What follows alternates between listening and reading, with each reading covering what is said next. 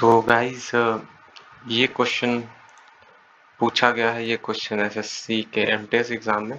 आप लोग इस क्वेश्चन को एक बार ज़रूर पॉज करके बनाओ, ठीक है? तो इसमें ऑप्शंस दिया होगा, ठीक है? तो ऑप्शंस में छोड़ो, आप डायरेक्ट क्वेश्चन करो।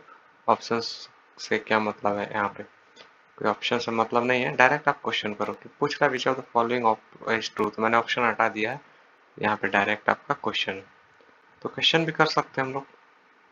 यहाँ पे हिंदी में मैं समझा दूँगा आप लोग को बोल रहा है if the simple interest on sum of rupees x किसी एक्स अमाउंट पे, किसी भी एक्स अमाउंट पे जो सिंपल इंटरेस्ट है, ठीक है, ये एक्स ऐसे लिखते हैं, नहीं तो एक्स और इनटू में मल्टीप्लिकेशन में कोई अंतर नहीं रह जाएगा।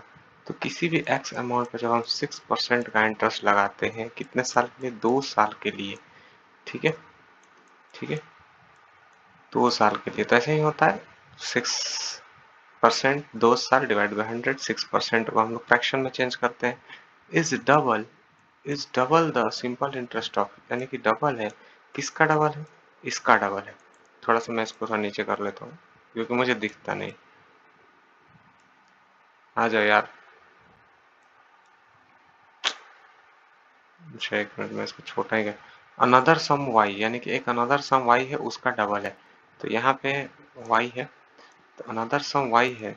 उसका डबल है जिस पे, इस अमाउंट पे वाई अमाउंट पे, यानी कि वाई जो अमाउंट है, उस पे नौ परसेंट इंटरेस्ट लगता है और तीन साल के लिए लगता है। ठीक है? तो तीन साल के लिए लगता है, नौ परसेंट लगता है, नौ परसेंट को फ्रैक्शन में चेंज कर दिया। इस अमाउंट का डबल है ये। ठीक है? तो एक्स और वाई में रिलेशन फाइंड करना है। तो एक्स वाई में इजिली रिलेशन फाइंड हो जाएगा यहाँ से आपका। ठीक है? तो आप देखो तो दो से दो डायरेक्ट इसको भी कटा सकते हैं हम लोग। यहाँ से आप देखो तो यहाँ से ऐसे कर लेते हैं x six x divide by hundred ठीक है?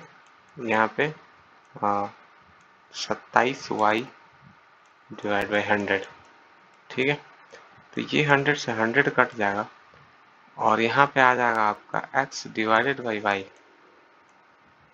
equal to सत्ताईस डिवाइड बाई सिक्स यहाँ से आप देखो तो तीन बार में ये कट जाएगा, ठीक है? और तीन बार, दो बार में ये कटेगा तीन से, और नौ बार में ये कट जाएगा। यानी कि आपसे जो क्वेश्चन में पूछा होगा, ये पूछ सकता है कि two x is equal to जो ऑप्शन आपको देंगे ऑप्शन वो देंगे two x is equal to nine y ऐसे करके ऑप्शन होगा ऑप्शन में ये भी हो सकता है कि two y is equal to nine x ऐसे करके ऑप्शन हो सकता है y is equal to four x ऐसे क्वेश्चन ऑप्शन हो सकता है, ठीक है?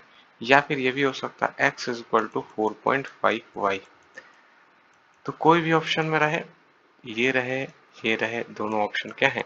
सही है। आपको डिसीज़न लेना है कि यहाँ पे ऑप्शन का कोई मतलब नहीं बनता इजीली क्वेश्चन को किया जा सकता है। ठीक है, और क्वेश्चंस देखते हैं जो एमटीएस में पूछे गए हैं प्लेलिस्ट आपको मिल जाएगा।